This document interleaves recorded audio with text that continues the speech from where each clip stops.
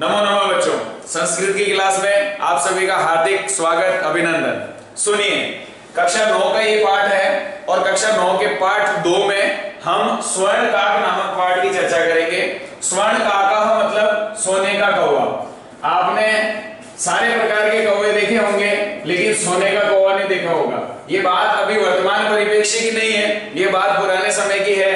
ये कहानी पुराने समय की है। इसलिए ज़्यादा चिंतन का विषय नहीं है, केवल कहानी सुनिए और समझिए। बड़ा ही आनंददायक कहानी है। देखिए, क्या हुआ? पुरा कश्मीचित ग्रामे एका निर्धना वृद्धा स्त्री न्य अवसर। यानी कि प्राचीन काल में एक बूढ़ी औरत जो थी, वो रहती थी। उसके बाद तस्याचे एका दुहिता विनम्र मनोहरा च आसी। उसके बाद उसकी एक दुहित्री दुहित्री कहो, पोती कहो कहो, कुछ भी कहो, कोई दिक्कत नहीं है। तो उसकी एक विनम्र और मनोहर, सुंदर सी दुहित्री रहती थी, ठीक है? एकदा माता स्थल्याम, तंडुलान, चितवा, पुत्रिम आदिश आदिदेश यानी कि उसकी माता ने एक बार थाली में चावल चुनने के लिए उसको पुत्री को आदेश दिया। पुत्री को आदेश क्या दिया कि सूर्य तपे तंडुलान खगीभ्यो रक्ष। यानी सूर्य के यानी कि धूप में मैंने जो चावल रखे हैं, उनकी रक्षा बेटा तो आराम से बैठ के इनकी रक्षा करना। कोई जानवर, कोई कौवा, कोई पक्षी आके उनको नहीं खाए, इसलिए तो आराम से बैठ जा और धूप में इनका ध्यान रख। तो किंचित कालांतरम एको विचित्र काकः समुड्डीय तम उपजगामः। अर्थात कुछ समय बाद में, किंचित कालांतरम कुछ समय के बाद में, एक विचित्र सा काक। विचित्र मतलब बहुत डिफरेंट टाइप का काक। हमारे संसार में डिफरेंट टाइप के प्राणी हैं। उनके जमाने में कौवे भी डिफरेंट टाइप के थे। तो एक विचित्र काग जो है, वो उड़ता हुआ वहाँ आया और वहाँ पर बैठ गया। कहाँ बैठ गया? जहाँ पर उसने चावल सुखा रखे थे। वहाँ पर वो, वहाँ पर आकर बैठ गया। उसके बाद नैता दृश्यम नैता दृश्य स्वर्ण पक्षो हो, रजत चंचु स्वर्ण काक तया पूर्वम दृष्ट। अब वो कह रही है कि उसने ऐसा काक कहीं नहीं देखा जिसके रजत चंचू, रजत मतलब सिल्वर सिल्वर वाली चोंच थी और स्वर्ण वाला, उसके जो, स्वर्ण वाला जो पूरा का पूरा काक था, वो कवा पूरा सोने का था, उसकी चोंच ये रजत की थी और उसके पंख जो थे, वो भी स्वर्ण के थे। पूर्वम दृष्ट, ऐसा पहले कभी नहीं देखा। तम तंडुलान खादंतम हसंतम विलोक के बालिका, रोदी तो मारद्दा अर्थात, जब वो कौवा वहाँ पहुँचा और तंडुलान खादन खाता हुआ चावल को खाने लगा और हंसता हुआ सारे के सारे चावल खा रहा था उसके बाद क्या बालिका रोदी तो मारद्दा बाल, बालिका ने रोना शुरू कर दिया। फिर तम निवारयंती ताम प्रार्थयत। उसको दूर भगाया और उससे प्रार्थना करी। क्या प्रार्थना करी? तंडुलान माँ भक्षय यानी कि मेरे चावल आप मत खाइए। मदिया माता अतीव निर्धना वर्तते। मेरी माँ जो थी, वो बहुत निर्धन थी। इसलिए आप मेरे चावल मत खाइए। स्वर्ण पक्ष काकह प्रो उवाच सोने के कौवे ने कहा, क्या कहा? माँ मत सोच। सूर्योदय पूर्वाद, ग्रामाद वही पीपल वृक्षम अनुत्वया आगंतव्यम सूर्य उदय से पहले एक काम करना, पीपल के वृक्ष के नीचे सूर्य उदय से पहले वहाँ पर आ जाना। आने के बाद क्या? अहम तुभ्यम तंडुलम मूल्यम दास्यामी। मैं तुम्हें चावलों का मूल्य दे दूँगा। ठीक है? प्रहर्षिता बालिका निद्राम अपनी लेवे अरे खुश हो गई कि मेरे को तो सारे चावलों का मूल्य मिल जाएगा तो उसको तो रात को ढंग से प्रहर्षिता खुश हुई बालिका ने रात को ढंग से नींद भी नहीं ली। देखो, अब नींद नहीं ली तो उसके बाद क्या हुआ? सूर्यो उदयात पूर्वम, यानी सूर्य उदय से पहले, सूर्य उदय से पहले वो वहाँ पर उपस्थित हो गई। कहाँ पर? जहाँ पर उसको कौवे ने बुलाया था, उसके घर पे। अब देखना, बहुत ही विचित्र बात आने वाली है। वृक्ष से ऊपरी विलोक्य वृक्ष के ऊपर जब उसने देखा, सात आश्चर्यचकिता वो आश्चर्यचकित हो गई। अब तुम भी सोच रहे हो कि आश्चर्यचकित कैसे हो गई? तो देखो यत अत्र प्रसादो वर्तते, और वहाँ पर सोने का बड़ा महल था। बड़ा सा महल। देख के हैरान हो गए। यदा काकः शयित्वा प्रबुद्धस्तदा तेन स्वर्ण गवाक्ष कथितम हहो वाले वहाँ पर काग जो है वो निद्रा में लीन था, शहीद हुआ, सो रहा था। सोने के बाद वो उठा और उठने के बाद तेन स्वर्ण गवाक्ष कथितम हहो वाले उठ करके जब वो जागा तो उसने देखा, अरे बालिका, तुम आगता तुम आ गई, तिष्ठ, रुको। अहम त्वत करते सोपाना उतारियामी मैं तुम्हारे लिए सोपान उतार रहा हूँ। सोपान मतलब जो सीढ़ी होती है ना चढ़ने की, वो तुम्हारे लिए मैं उतार रहा हूँ, क्योंकि वो था वृक्ष पे उसका महल, बहुत ऊँचा था। से अगर कोई ऊपर आएगा तो सीधी सी बात है, सोपान से आएगा। उसने सोपान उसको दिया तत्कथे उसके बाद कहा स्वर्णमयम रजतमय तुम ताम्रमयम वाह अरे बेटा, तुम सोने की सीढ़ी से आओगी, या चांदी की सीढ़ी से आओगी, या तांबे की सीढ़ी से आओगी? बोलो, तुम किस सीढ़ी से आओगी? उस सीढ़ी से मैं तुम्हारे को ऊपर बुलवाऊँगा। तो तेन स्वर्ण सॉरी कन्याम प्रोवचत प्रोवचत, यानी कन्या ने दुहिता मैं निर्धन माँ की बेटी हूँ। तो क्या करें? ताम्र सोपानम एव आगमिष्यामि। मैं तो तांबे की सीढ़ी से आ जाऊँगी। मुझे सोने चांदी में कोई इंटरेस्ट नहीं है। तो मैं तो उसी सीढ़ी से आऊँगी, इसलिए मैं आ जाऊँगी। परम स्वर्ण सोपाने सा स्वर्ण भवन प्रसाद। यानी कि उसने उसने उस गरीब बच्ची के लिए सोने की सीढ़ी उतारी। उसने मना किया, मुझे नहीं चाहिए। लेकिन उसने फिर भी उसके लिए सोने की सीढ़ी उतरी और सोने की सीढ़ी से वो सीढ़ी ऊपर आ गई। अब देखो आप आगे की बात। चिरकालम होने विचित्र वस्तु नहीं संजीतानी जैसे ही वो उसके प्रासाद में एंटर हुई, जैसे ही उसके भवन में वो एंटर हुई महल में, उसके बाद उसने देखा चित्र विचित्र वस्तु नहीं बहुत सारी विचित्र वस्तुएँ थी डिफरेंट डिफरेंट टाइप की अलग अलग जो उसने कभी देखी, ना सोची नहीं होगी। ऐसी वस्तुएँ उसके घर में थी, दृष्टवा सा विस्मय गता। उसने के बाद वो भूल गई सब कुछ। शांताम काम मिलो के काकह प्राह। जब वो स्त्री वो जो लड़की थी, वो श्रांतम आराम करने के लिए उसने उसको कहा कि आराम कर। और क्या? का पूर्वम लघु प्रातराश क्रियताम। सबसे पहले तुम बैठो, शांति से बैठो, उसके बाद लंच वो क्या कहते हैं? नाश्ता करो। लघु प्रातराश मतलब होता है नाश्ता। तो नाश्ता करो। वद त्वम स्वर्ण स्थाल्याम भोजनम करिष्यसि।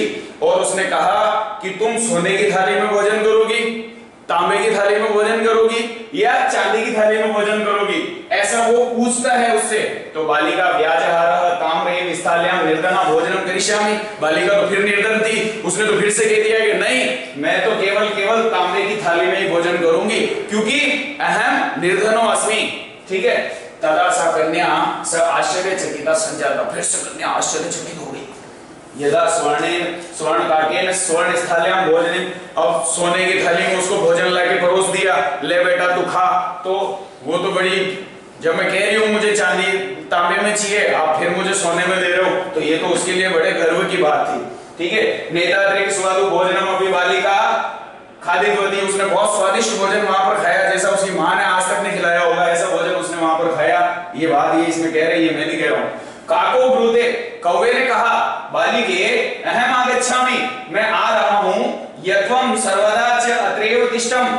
मैं जब तक आता हूँ, तुम यही रुको, और तब माता वर्तते चैका के लिए तुम्हारी मम्मी जो थी, वो वहाँ पर अकेली ही है। तुम शीघ्र एव स्वगृहम गच्छ, तुम जल्दी से तुम्हारे घर पर चली जाओ। इत्युक्त्वा काकः, कक्षाम अभ्यंतरा तिस्रो निस्सार्यम काम प्रत्यवदत। वो ऐसा कहकर कि तुम्हें घर जाना होगा, तुम्हारी माँ अकेली है, तुम्हें घर जाना होगा, ऐसा कहकर के वो उसको एक कक्ष में ले जाता है। उस दुहित्री को एक कक्ष में ले जाता है और वहाँ पर ले जाकर कहता है, बालिके यथेच्छम गृहाणम मंजूषा एकाम जो तुम्हें मंजूषा चाहिए, यानी कि उस कमरे के अंदर तीन प्रकार की संदूकें पड़ी थी, ठीक है ना? और बालिका को उसने कहा कि जो तुम्हारे को संदूक चाहिए, वो तुम संदूक ले लो ये तुम्हारा जो मैंने चावल खाया उसका मूल्य होगा। लघुतमा मंजूषा प्रगृह बालिकया कथितम एव मदीय तंडुला मूल्य उसने कहा कि जो सबसे छोटी संदूक है, वो ही मेरे चावल का मूल्य हो जाएगा। इतने से मैं मेरा पर्याप्त हो जाएगा। इसलिए आप सबसे छोटी जो संदूक है, वो मुझे दे दो। यानी कि तीन बड़ी बड़ी संदूकों में से सबसे छोटी संदूक उसने सिलेक्ट कर ली और उसने कहा कि मेरा चावलों का मूल्य इसमें पर्याप्त हो जाएगा। गृह आगत्य तया मंजूषा समुद्घाटिता घर पर आकर आकर के उसने संदूक खोली। संदूक खोली तो देखो क्या निकला। तस्याम ममहारणी हीर काणी विलोक्य सा प्रहर्षिता तद दिनाक दिनाक सच संजाता अब जब वो उसने संदूक खोली तो उसमें बहुमूल्य हीरे, बहुमूल्य रत्न, सोना, चांदी, हीरे, जवाहरात, सब कुछ उसके अंदर था। यानी कि उसको मूल्य तो दूर की बात है, उसको तो वो सब कुछ मिल गया जो उसने कभी कल्पना भी नहीं की होगी। ठीक है ना? उसके बाद देखो तस्मिन एव ग्रामे अब वो उसको मूल्य मिल गया। उसके बाद उसी गाँव में एका परलुब्धा, एक बुढ़िया और रहती थी, ठीक है ना? तस्या अपनी एका पुत्री आसिद उसकी भी एक बेटी थी. ध्यान से सुनिएगा फिर से कहानी में ट्विस्ट है. ईर्ष्या सा तस्य स्वर्ण काकस्य रहस्यम अभी जागृति ईर्ष्या के कारण पड़ोसी को हमेशा जलन होती है. चाहे कहीं पर भी हो, उसी प्रकार ये प्राचीन समय की बात में भी उस बुढ़िया को जलन हुई कि ये इतना सारा सोना एक ही रात में कैसे लेके आ गई? सर्च करो इसको, पता करो। तो पता किया तो ईर्ष्या के कारण उसने पता किया तो स्वर्ण काक का उसने रहस्य जान लिया। और रहस्य जानने के बाद जो कुछ उस स्त्री के साथ हुआ, उस बुढ़िया के साथ हुआ, वैसा का वैसा उसने अपनी पुत्री के साथ किया। यानी कि क्या किया? वही धूप में उसने चावल चावल जो थे सुखा दिए, फिर वह रक्षार्थम उसको नियुक्त कर दिया रक्षा के लिए। फिर क्या हुआ? स्वर्ण पक्ष, फिर वही सोने का कौवा वहाँ पर आया। आने के बाद तंडुलान जो चावल थे वो खाने लगा। खाने के बाद उसने तत्रेव अकार्य वहाँ पर वैसा का वैसा ही कार्य किया। फिर गतवा सा काकम निर्भत्स्यन्ति प्रोवचा उसको उसने भगाने की कोशिश की। क्या कहा? कि भो नीच काक, अरे नीच का अहम आगता मैं आ रही हूँ। मुझे भी मेरा चावलों का मूल्य दे देना ऐसा वो डायरेक्ट ही बोल देती है काको ब्रवीत काक जो है वो कहता है अहम त्वत करते सोपानम उतारिया में यानी ये पहाड़ के बीच में सीधा वहाँ पर लेके चल गया कि भाई, सीधा सोपान की वाली बात आ गई कि सीधा वहाँ पहुँच गए। और पहुँचने के बाद वो कहती, वो कौवा कहता है कि अब सोपान में आपके लिए उतारता हूँ, अर्थात सिटी में आपके लिए उतारता हूँ। तथ तत्कथये स्वर्णमयम, रजतमयम, ताम्रमयम तो तुम कहो, सोने से आओगी, सोने की सीढ़ी से, चांदी की से, तांबे की से? तो गर्भितया बाली कया प्रोक्तम, गर्भ से। लड़की उसको अभिमान था। गर्व से लड़की बोलती है, क्या बोलती है? स्वर्ण स्वर्णमयी सोपाना आगच्छामी सोने की सीढ़ी से मैं आऊँगी। चांदी और तांबे में तो हमारे दादा परदादा भी नहीं आए तो मैं तो सीधी सोने से आऊँगी। तो हाँ भाई यार परम स्वर्ण का। लेकिन कौवा बड़ा समझदार था कि इसके मन में लालच है। इसको तो मैं सीधा कर दूँगा तो वो फिर उसके लिए तांबे का उतार देता है। ठीक है? तांबे की वो उसके लिए उतार देता है। उसके बाद फिर वो का वही प्रतिनिवर्ती स्वर्ण का के फिर वो तांबे की उतारता है, उसके बाद भोजन की बात आती है, भोजन में भी वो जो है, वो उसको, वो बोलता है कि भाई सोने में या चांदी में या तांबे में तो वो कहती है, मैं तो सोने में खाऊँगी, सोने की थाली में। तो उसको फिर वो चांदी की थाली में तांबे की थाली में भोजन देता है। उसके बाद क्या हुआ? जब वो वापस जाने की, घर जाने की बारी तो उस समय में उसने, वो उसको कक्ष में लेके गया। कक्षा अभ्यंतर तीसरो मंजूषा तत्पुरः उपक्षिता यानी कि उसके सामने वो तीन संदूकें उसने रख दी और तीनों पेटियों को उसको रखने के बाद लोभ निष्ठा सा बृहत तमा मंजूषा गृहत्वती।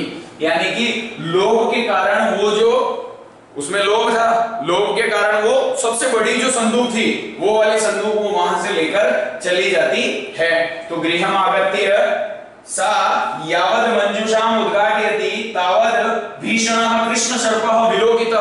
और जैसे ही वो घर जाने के बाद में, जब वो अपनी बड़ी सी संदूक खोल दी तो उसमें एक भयानक सांप निकलता है, बहुत ज़्यादा बड़ा वाला, काला काला जो सांप देखा होगा आपने, इतने बड़े फन वाला जो सांप होता है, वो उसमें से हाउ निकल जाता है एक तरह से, है ना? तो उसके बाद क्या हुआ?